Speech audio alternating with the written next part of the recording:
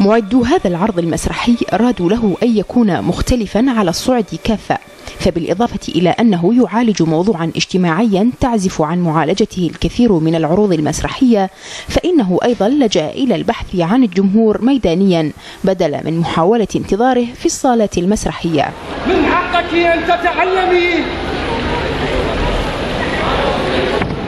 من حقك أن تعيشي. الجمهور ما يجينا ما يستقبلنا. ففكرنا بأن إحنا نسوي مسرح جوال فقمنا إحنا نروح للجمهور مو الجمهور هو يجينا. المرأة بالمجتمع عندنا منغلقة.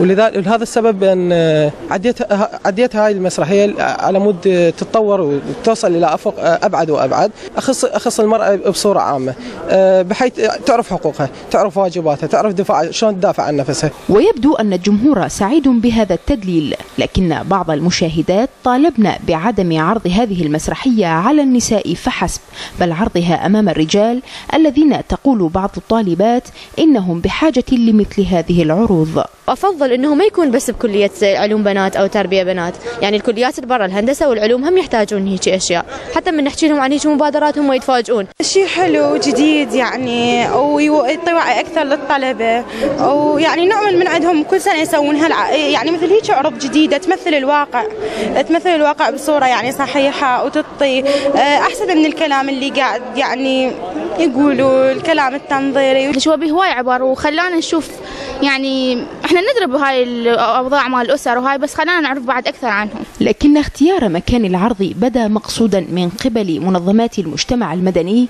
التي أشرفت على إعداده.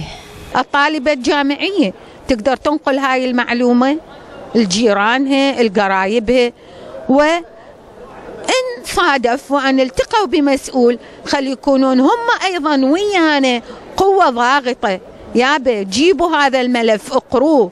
وقد يكون تحقيق هذه المهمة بحاجة إلى أكثر من عرض مسرحي خاصة وإن ملف منح الحقوق المدنية للمرأة يتعرض إلى الكثير من الانتقادات التي تأتي أحيانا حتى من بعض النساء. نازم محمد السومرية.